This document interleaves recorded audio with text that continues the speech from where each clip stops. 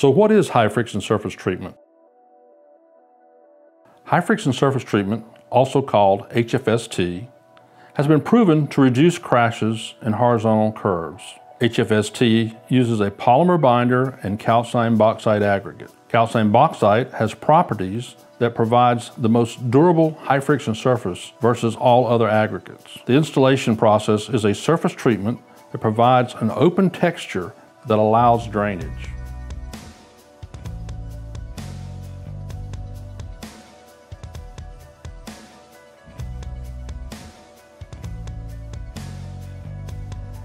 This curve on Maysville Road in Madison County has had significant crashes. Madison County was looking for a solution. They decided to try high friction surface treatment as a solution. DBI was approached to provide a demonstration for installation of high friction surface treatment. This location had distressed pavement that wasn't suitable for high friction surface treatment. Madison County paved a short section of the curve to restore the pavement structure. This location has a slight downgrade and is coming out of a slight reverse curve. You also have two side roads intersections in the curve which typically increase the frequency of crashes. The geometrics were also not compatible with the operating speeds.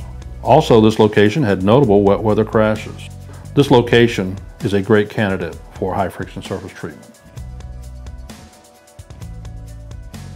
The second demonstration project was installed for Alabama DOT on State Highway 171 near Northport. This curve was selected because it had significant crashes. This location had notable wet weather crashes and it has a side road intersection in the curve as well as two driveways.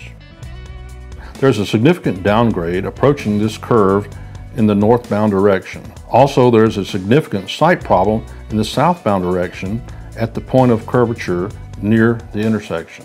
Operating speeds and geometric design are not compatible.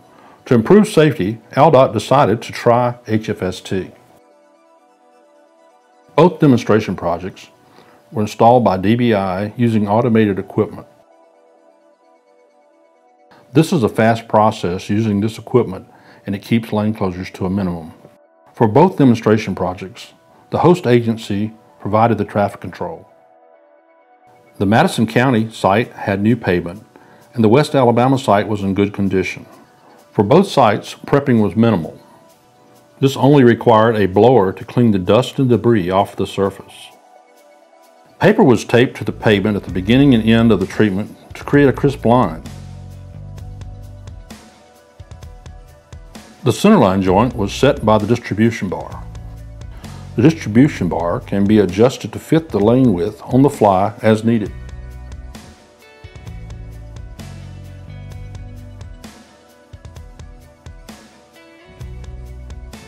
The truck carries the calcined bauxite and the epoxy, so it moves rather quickly.